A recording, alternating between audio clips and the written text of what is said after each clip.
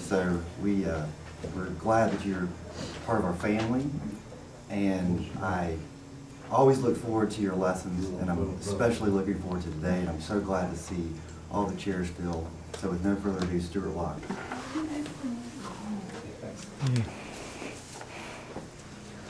Well, thank you very much for the chance to come and share this lecture with you today.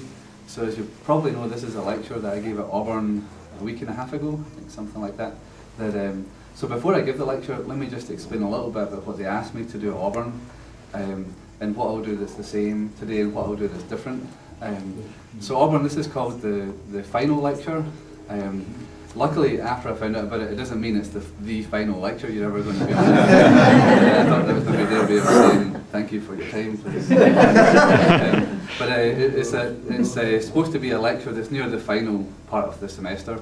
And the guidelines they gave me were that uh, to give advice to the students, especially the first year students who are coming near the end of their first year, advice on how to survive at college, and advice to the final year students who are going to move on in kind of life and bigger stuff beyond that.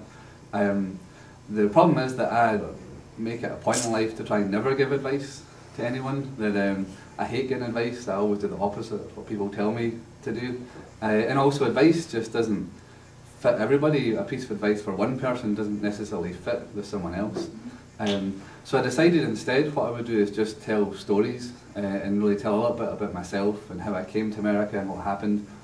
And if the students took it as advice, that would be fine, um, and it was designed that way. If not, they could just sit back and relax and enjoy the stories.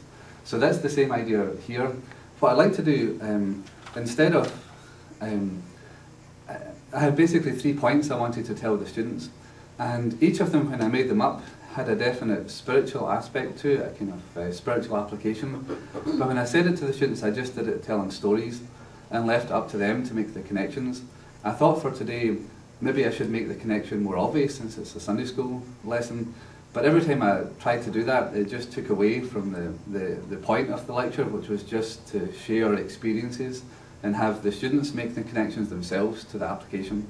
So I decided after a bunch of thinking and swapping things around, just to give the lecture exactly like it was, and then you can make the connections yourself to the kind of life advice, uh, or you can just sit back and relax. But again, I'll let you uh, kind of make that up yourself.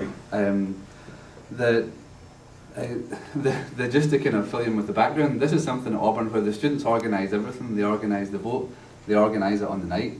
Um, so on the actual night, um, it starts at 8 o'clock, in by like five minutes to eight, two minutes to eight, there was me and Jessica, two people from Epiphany, two people who organised it, who'd organised the vote, and um, Jessica's parents and a couple of other people. And then one minute to eight, all the students basically showed up. So, so you guys are way more organised.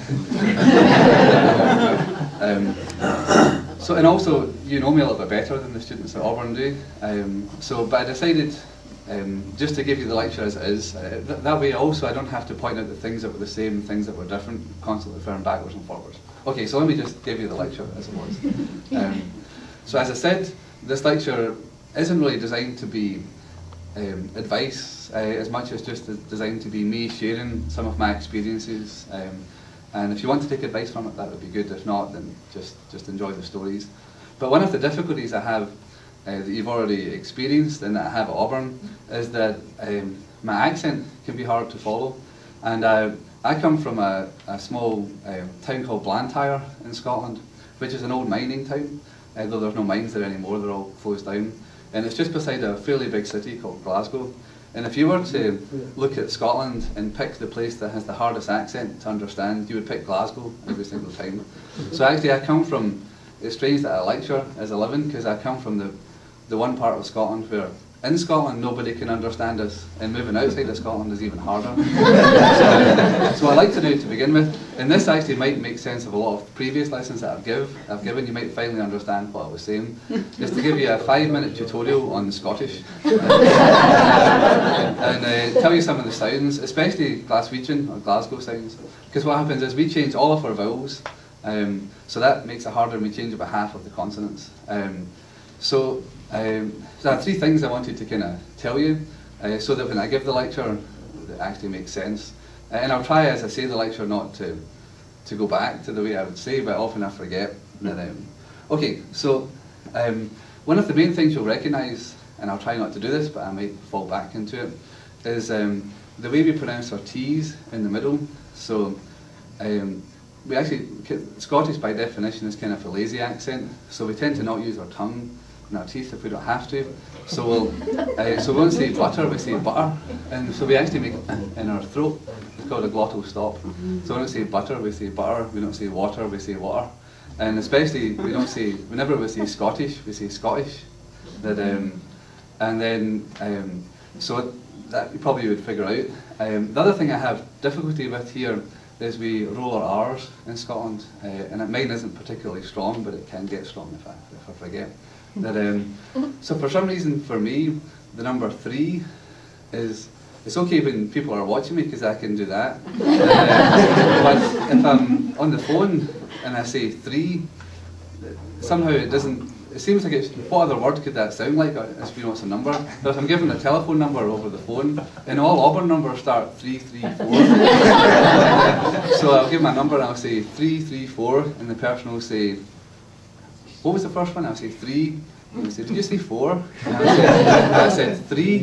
And I said two. And I had to say two plus one. between two and four. That's the number I'm trying to say. And, uh, and, uh, so all my words, I kind of roll my R's, especially if I'm reading the Bible or praying. I kind of go back into into that for some reason. And then the the last thing I wanted to tell you was kind of a, to do an experiment with you, um, to see if this sounds as strange as it sounds to people normally. So if I give you guys a letter, can you tell me a word that starts with that letter? So if I said the letter O, tell me a Orange. word. Orange. Uh, I. Ice. A. Apple. Oh, and the, the New Zealand person got it. so, for some reason, uh, in Scotland, our A's and E's are almost identical. That uh, I don't say, I, I actually can't do it the way that you say it here. Yeah, like an A Y E, long A. So I have the hardest time with my name, S T U A R T. Everyone spells, if I spell it out, it's S T U E R T, uh, because my A's and E's are almost the same. So my E's are okay, but my A's, everyone thinks I just said E again. So actually, what I say now is, my name is, is Stuart, S T U A for Apple, R T. And I've people say, Apple starts with an A, not an E. okay, um, I figured out a better way to do this. Okay, so hopefully you can up to speed with my accent and, and the weird way I'm going to say stuff. Just as, uh, just for my own benefit, um, I get commission from Scotland if I make people do this. Um, if you all could say the word Scottish properly with an uh instead of a T, so one, two, three. Scottish. Excellent. Very good. Okay, that's great. So, so now let me start the lecture properly. Uh, and as I said, I have three points that I wanted to make. And while these points were, are made with students in mind, I think they apply to everyone in general. They're just um, things I've experienced through life. They're not particularly just for college. So the first thing that I wanted to tell you was um, uh, about learning and, uh, and my experience of learning. So I study physics, I do research in physics, uh, and at high school I quite liked physics. It was okay, wasn't my favourite, but it was alright. Um, but once I got to university, I just loved physics from the first minute that I saw it. I loved everything about it. Of course, it was kind of hard, but but um, for me, it was just discovering how the universe is made up. What are the laws that, that govern everything? What are the fundamental particles that make things up? What are the forces that make things up? So for me, it was not just kind of something I had to do for the test, but something that I really enjoyed just discovering about it. And there were so many things that I learned that were the opposite of the way I would have guessed that they were. And but this is something that's true not just for physics. I think every topic that you pick, um, whether it's an art subject, um, um, English, philosophy, um, or reading the Bible, finding out about God, then all of these subjects are something if you dig in a little bit to them and, and find out about the details, they're really exhilarating. Um, it's an exhilarating experience to kind of figure this stuff out. Because what you're really doing is you're finding out how the universe works. In physics, you're finding out how these inan- inanimate objects move. Um, in in uh, English and philosophy and history, you're finding out how society works and how people work and how and how uh, what are the laws in a sense that, that govern govern those kind of things. Um, probably already you've experienced some things in your life where you've really enjoyed learning something, where you've just, it's captured your imagination, that you've really been able to kind of um, experience this kind of rush as you're learning it. Not that it's not hard work, learning is always a bit hard work, you have to put the effort into it. But at some point, with the hard work, it becomes this kind of nice, smooth experience, almost like learning to ski or something like that. Hard work to begin with, you fall over a lot, but at some point you get this exhilaration of skiing. For me, that's what learning is like. You have this kind of buzz of actually learning this stuff, and it's not a buzz proving you're smart. It's a buzz kind of because you discover something about how the universe is. It's sort of um, um, you have this connection to you figure something out. So what I wanted to do was to tell a story kind of illustrating that. And all the stories I know are from physics, you'll have to forgive this next part. But um, I, I easily could have picked any other topic, I'm sure, if I had known those other topics. But physics is all I know, so that's what I'll tell you. And the idea here is to illustrate all it takes is a kind of simple, careful thought process to figure out some really profound things that most principles at heart are very straightforward and simple. Once you put them into practice, then the results can seem really complicated. But if you can home in on what is the fundamental rules that, that makes things happen, then, then you have a chance to kind of really understand something important about the universe. So if I could take you back in time a little bit to the 1800s, and there scientists had lots of questions, things they didn't know, but one of the big ones was what is the sun? What makes it? What is it made up of? Why is it on fire? Uh, what is burning? Um, how much energy does it use up? Uh, they just didn't know. That, um, but they were starting to have sort of a scientific method, being able to figure things out. So uh, there's a man called James Herschel in 1838 decided that he would try and figure this out for himself. And he had the simplest of ideas that really anybody could have thought of, but nobody had. And he took this one idea and he discovered something profound. So what he wanted to know was how much energy does it take to keep the sun going? So he thought, well, let's work out how much energy the sun gives off every second. That will let us know how much it needs to keep going. So, of course, we can't get to the sun, it's too far away, then they couldn't get into space. Uh, so he thought what he would do, and I have to say his equipment was a little bit more complicated than this, but essentially what I'm about to tell you is what he did. He took essentially a bucket of water and a thermometer, so he had the thermometer outside under kind of a shade in, in the water and he measured the temperature of the water. He took the shade away and then he, he counted how long did it take the sunlight, he picked a sunny day of course, to heat up the bucket of water by one degree Celsius. And he knew how much energy it takes to heat up water from inside his house by just heating up with a flame. He could measure that, how much stuff got burned. Um, so after that one simple experiment, just with a bucket of water and a thermometer, he knew how much the sun heats up this little area um, per minute, that kind of thing. So then he worked out how much it does per, per square yard. Um, then he knew the size of the surface of the Earth, he knew the radius of the Earth at that point. So he could work out how much energy from the sun hits the Earth every second. And then he, he used his imagination and thought a little bit beyond that. And he knew how far away the sun was, so he imagined well, the sun probably gives off its energy equally in all directions, so you have a big sphere of energy that's constantly given off. And if he knew how far away the Earth was from the sun, which he did at that point, he could work out the area of this big sphere. So not just a little bit that has the Earth, but the whole big sphere.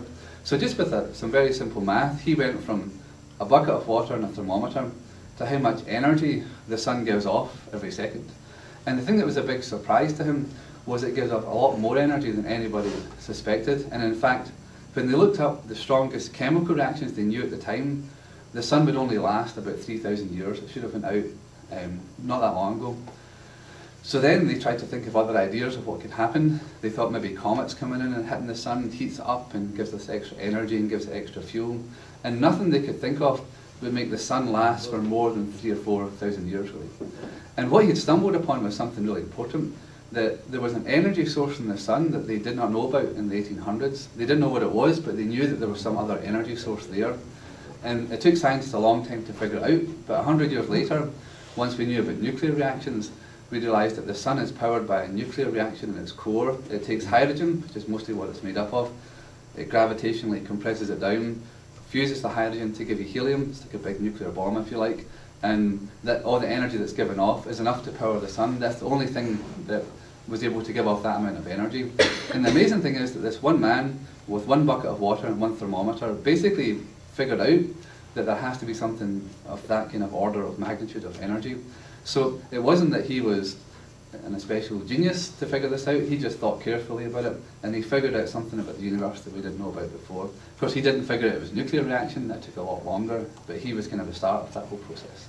So the important thing to me is that if you're learning anything, whether it's on your own as a hobby or as part of a course, is to dig a little bit deeper into the subject, to kind of ask questions about it, to not just believe the teacher because he, he says something is true, that, that it is true, but also to think how can you test it, how can you change it a little bit, how can you really be sure that what you're asking is right. And for that, you don't have to have lots of qualifications to do it, you just have to have a careful thought process in working it through.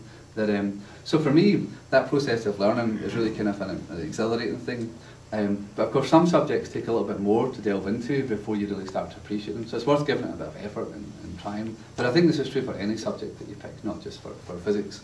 Um, and so it's really kind of a, a fulfilling experience for me, the process of learning. That, um, and it's something that isn't just for college, that it goes through your whole life. If you can have this enjoyment of always learning, I mean, it's your brain that you're kind of working with and, and keeping active and improving, that, um, it's sort of a nice whole picture of life, nice fulfilling uh, experience. So that was the first thing I wanted to tell you was to, to pick something to learn and to really enjoy it, dig into it and to kind of make the most of it. The second thing sort of falls on from that, that one of the most important things that you can learn um, you learn by, by exposing yourself to new experiences. And of course, most of you know that already. And, um, but one of the best ways to do that is to travel to other countries. And again, with this audience, most of you have, have done that more than I have in many cases. But for me, uh, I grew up in Scotland in this one small mining town um, and really didn't travel until uh, after university. I finished my undergraduate degree. I think I had been to Paris for a for a weekend once in a school thing, and that was all I had ever really travelled. So I decided when I was about 21, I think, that I really should try and travel and see more of the world. And in Europe, this is sort of easy, or easier maybe than here, to travel and find a culture that's very different from where you are just now. So I decided I would buy a cheap student train ticket, which in Europe you can get, and it's valid on every train in every country, and you can buy it for two weeks or a month. I think I two and a half weeks was what I got mine for. And then I decided just to take off and see some of Europe. So I went from Scotland to Paris, which wasn't so bad because they spoke English there still. And, and um, whenever, I, whenever I tried to speak French, um, they would just immediately speak English. So then, so then I, I went to Switzerland and saw a little bit of Switzerland. And there I was in some places where they mostly spoke French, only spoke a little bit of English. So after Paris, I was still trying to, I realised that I just was not speaking French very well. So I tried to speak English in those places, but because of my accent, they understood me better speaking French than they did speaking English. that in fact, they actually tell me, stop speaking English, just speak French, we understand your accent better there. That, um, so that was the first time where I really had to survive without speaking any English, where I had to just book trains and hotel rooms, order meals, I tried to do it as cheaply as possible, so I stayed with friends or families, and a lot of those places, um, those friends didn't speak any English at all. Mm. So that for me was really a kind of um, an eye-opening experience that had what I thought of as my whole universe was really just a small part of Scotland. And all of a sudden I saw these different cultures, different ways of thinking, um, different um, habits in life, even just simple things like the way French people do dinners. I had never experienced this big two hour long kind of relaxed um, atmosphere. In Scotland we eat fast and then we're off to something else. Um, and just the little things like that to, that I had never thought to question before. And that was what travelling for me did. It made me question things that I had just taken for granted up to that point. Other, it kind of made me think that I have blind spots that I don't know about, that things that I had never thought of, that, that I never would have thought to question. And then it's after Switzerland, I went down to Prague stayed there, then came back to Paris, then went back to Scotland. So really all I saw was a relatively small part of it. Um, I wish I had taken more time to see that. But for me, there's really nothing that can can give you that same life experience as just travelling, especially travelling to somewhere that's very different from your own culture, your own upbringing. Not just language, but just kind of customs and ways of thinking. That's really kind of a mind-broadening experience. So for me, then coming to America, of course it's much easier to transition from Scotland to America but actually much harder than you would think. And so I decided early on, when I came over here to treat it as an adventure, that to kind of enjoy it, not to get too stressed out by the things that went wrong. And it really was an adventure, it was an exciting time coming across. My first time really being so far away from home and um, in, in a different city, different, um, different town, I had a new job. Uh, all those things were kind of new, There's a lot to take in. I remember being kind of exhausted every night just from the effort of having to remember not to say Scottish, but to say Scottish and things like that. Um, but there's a few things that happened early on that uh, at the time were, were kind of a little bit stressful, but actually we're looking back were, were some of the most enjoyable kind of things that happened. So let me tell you those just to kind of share them. So the, uh, when I finished grad school, uh, I looked like most physicists do, so I had long hair, I was sort of unshaven and, and kind of unkempt in general. And um, so I, um, and I, that's, yeah, that's how you're supposed to look as a physicist, so I and, um, so I, I, but after a month or so in Auburn, I said I better get a haircut, but I wanted to keep the same general dishevelled kind of uh, look. So I went into the barber on uh, Magnolia Street in, in uh, Auburn, and then, uh, and uh, I guess my accent was much stronger then, though it seems to me like it's not changed that much. But I said, um, excuse me, I'd like a trim please, just a wee bit off. And, uh, and then he had no idea what I just said. and I, I realised that, and then he said something and I had no idea what he said. And I said, I'd like a trim please, just a wee bit off, just that much. And then he went, ah. And then I sat down, he got the clippers out and went, I thought I was asking was to leave it left on. And then so I had this of inverse Mohican and realised that at that point it's too late to change it. I may as well just black, get the shortest haircut I've ever had. And, um, and then so as I was sitting there thinking, this was harder than I thought, this should be kind of easy. We're both speaking English, it shouldn't be that hard. I realised that, and just to fill you in, in Scotland, if people tell jokes about Scottish people, what they always make fun of is that we never spend money unless we have to, that we're, we're really, um, that wherever possible we save money, we, we don't ever spend it. So as I'm sitting there with the shortest haircut I've ever got, I'm thinking, I'm not going to need to get my hair cut for a long, long time. and I right, I basically grew it all back out again in a year and a half, and never had another haircut until after that. And by that point, I guess my accent wasn't quite so hard and they could understand me. But then just after that, so I had this super short haircut, I went uh, a few weeks later to get my driving test because you guys quite wisely don't trust us to drive here because we drive on the wrong side over there, so you have, to prove that we can know what we're doing. So I sat the theory test, that was okay, and I was about to sit the practical test, and at that point in uh, Auburn, you could the international folks could sit their test in, in Opelika. Now you have to go to Montgomery to do it. Anyway, so I was in the test centre, all ready to go, and the lady was just taking my details. So hair colour, height, eye colour. and at this point I had realised there was a lot more things that did not make any sense the way I would say them, and I, had, I thought I had figured most of them out. And um, so I got to weight, and most of Europe works in kilograms, but I knew you guys worked in pounds. But in Scotland we work in pounds as well. But we have another unit um, called the stones, yeah. And actually I've forgotten the conversion, but I think it's 16 pounds in a stone, Sorry, something like that. It's so long since I used it. And then so I just assumed because we use pounds and stones, you guys use pounds and stones. So the lady said, um, what's your weight?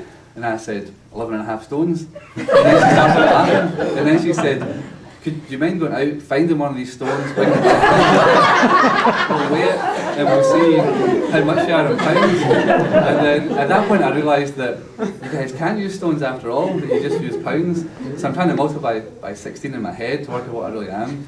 And at that point, she's still laughing, and she stopped the whole test centre in Opelika, and she called all the instructors and said, please say exactly the same answer again. They all started laughing. Uh, so they really do have a sense of humour at the DMV, it doesn't look like it really kind of So, but both those things I decided early on just to enjoy them, to kind of treat that as part of the adventure. If everything was the same as Scotland, it wouldn't be quite so much fun. Part of the fun of coming here was to have those kind of adventures.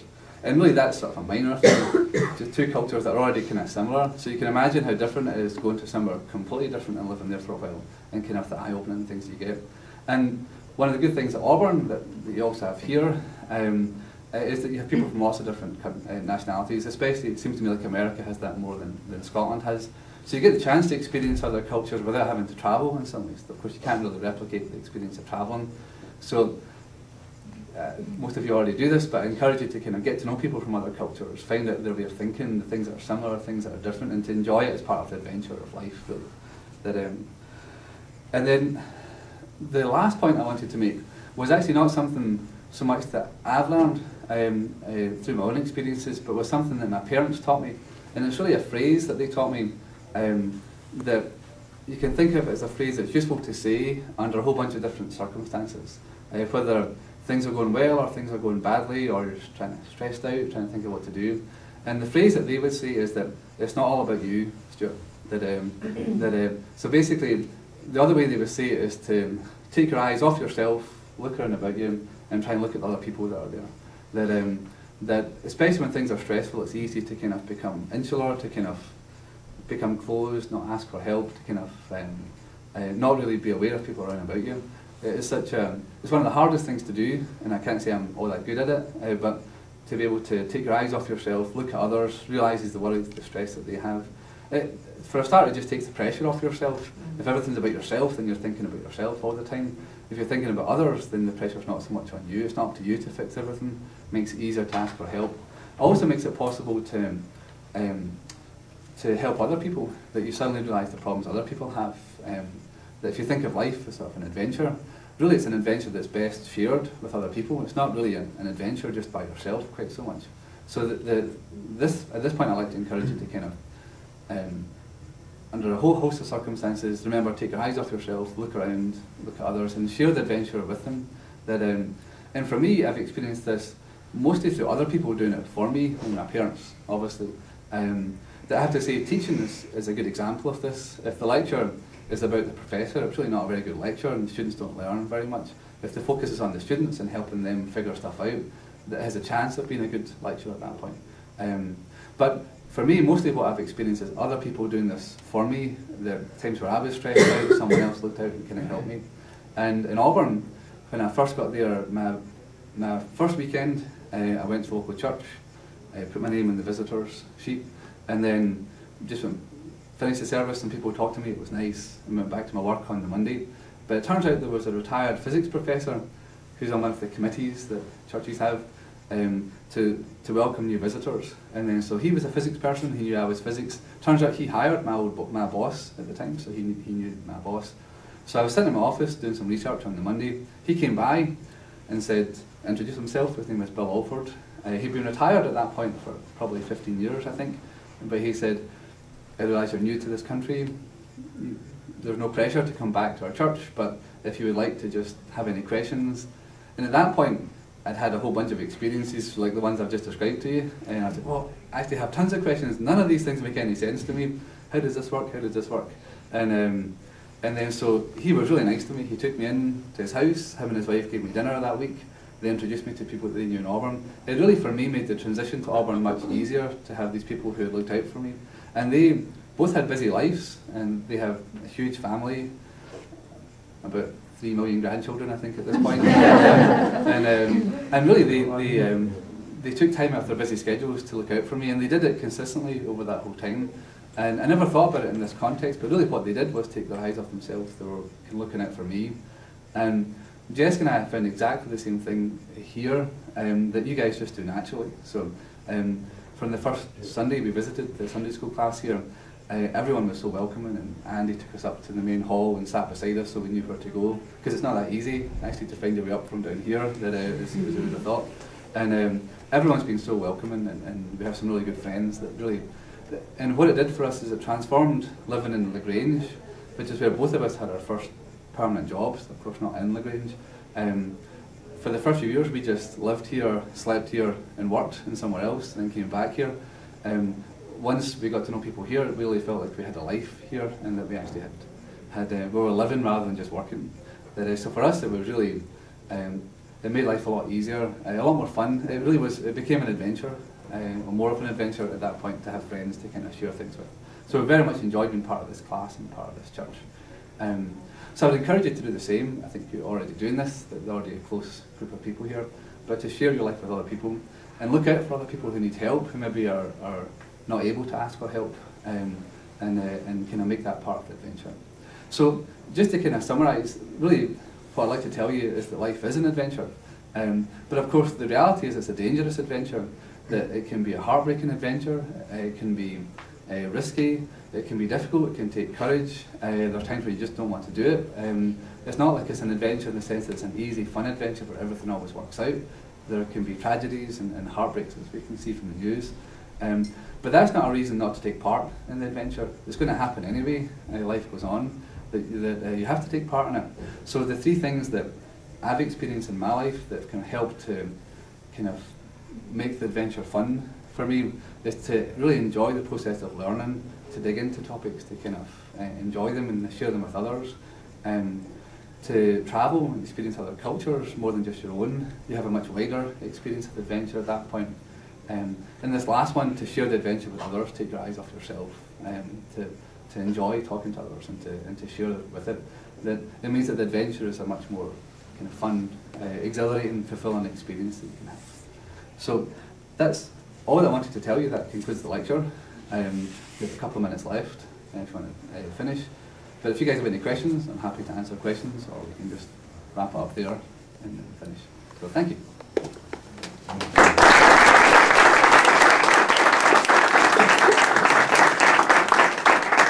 It was three, almost invariably three. Tell me about the ballet dancer. Oh yeah, and then the first time I taught, um, that uh, I was doing rotational motion, so I had a um, I had a, a ballerina doing a pirouette and bring your arms in and you can move faster out, you can go slower. So I, but we just say ballet dancer in Scotland. Everybody thought I said belly dancer. and then, so I had this class of 150 people at that point, my first class I had taught, and I'm saying, so imagine this ballet dancer spinning around, bringing her arms in and out, and I can see the class go, they're, trying to picture this belly dancer doing pirouette. and all of a sudden, one of the guys said, "Oh, he's saying ballet dancer." and uh, in my class, that's one of the fun things. I was actually figuring out the things that, because I can tell from their expressions right away that I've said something that doesn't make any sense here. then I have to work out what sentence it was that didn't make sense and kind of figure it out.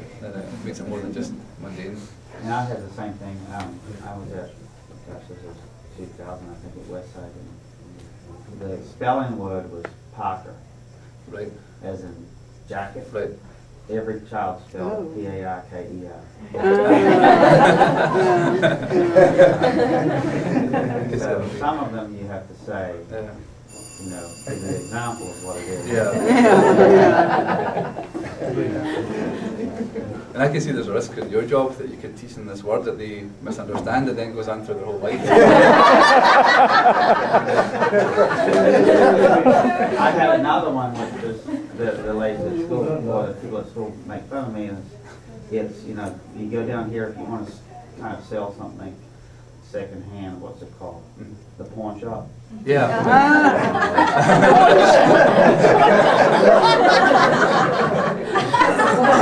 And, and the other thing is, it, um, Teddy, Teddy Roosevelt, I teach Teddy Roosevelt, so it's bear, and I think I'm saying bear. Oh, yeah. As in B E E, B Right. E E I. Yeah, right. Yeah. Teddy bear. I, I concur with you Yeah. as far as, even though, you know, when I, and when I first came to America, they put me in English for non-speakers. Oh, really? But he didn't make an A. Eh? Because Alabama's high. They're high on the foreign students. Yeah, I had real trouble when I first came because I was a researcher just in one one room by myself. I never really got to see that many other people. So whenever I had to interact with the secretaries or the faculty, they had a real hard time understanding me. There was tons of stuff that happened like that. Does Jessica interpret for you in a drive-through? Yeah, actually, Absolutely. In case you get something with ranch? Yeah. He doesn't do drive through anymore. Okay. Like, just, Yeah. just, just be quiet. Okay, we want number three. And actually, sometimes we'll stop, swap seats. but actually, the first time I met Jessica's parents, I, I saw her grandparents first, and her granddad has a small plot of land where he keeps some cows and, and, uh, and farms a little bit, and has a really strong accent, and is one of the most amazing people I've met. And then I went to her parents' house, and it's the first time I'd ever met them, so I was trying to kind of make conversation, and I said, I saw Jessica's granddad earlier, and I saw his cows, and they said, "His what?" and I said, "His cows." And then they clearly did not know what I had just said, and I couldn't think of another word for cows. I'm thinking I should have thought cattle or something like that, but I just said cows, you know, cows, cows. and, then, and then Jessica came in just at the right point to translate because I was just going. so, so it's one of the fun things that, We say our, our kids are gonna speak Southern. yeah. Have you seen Thirty-Nine Steps where they have that scene? The, the old one? The- yeah, yeah. right. Yeah, and actually I read that book recently, and it's amazing how accurate he gets the kind of Scottish accent. The film did the same thing. That, uh, in, in Britain they really make fun of people from Glasgow having such a hard accent, I understand. I have lots of little clips I can show you guys. You know, that, that's where the southern accent really came from. So many Scottish people Yeah. uh, settled in the south. And the- how we elongate our vowels, it Yeah. probably, you know, came from. Yes, it should that. be easy, it really should be, and I can see so many similarities between stuff that we were saying. It's the same principles, it's just went off slowly. But, um, I love southern accents, to me it's one of. Although, when, uh, the last time Stuart's like eighty-six-year-old grandmother came to visit over here, Oh, yeah. I took her to Callaway Gardens, and along the way she was saying she wants to just spend a penny. And of course, because she's Scottish, I'm thinking, yeah, yeah, you're you're cheap. But what actually, I was saying, no, you can spend more than that. I didn't realize she was saying she needs to go to the bathroom, so she kept saying it costs a penny. it costs a penny. They say I want to spend a penny, they need to go to the toilet. so I was like, you can spend more than that. Thanks for your attention.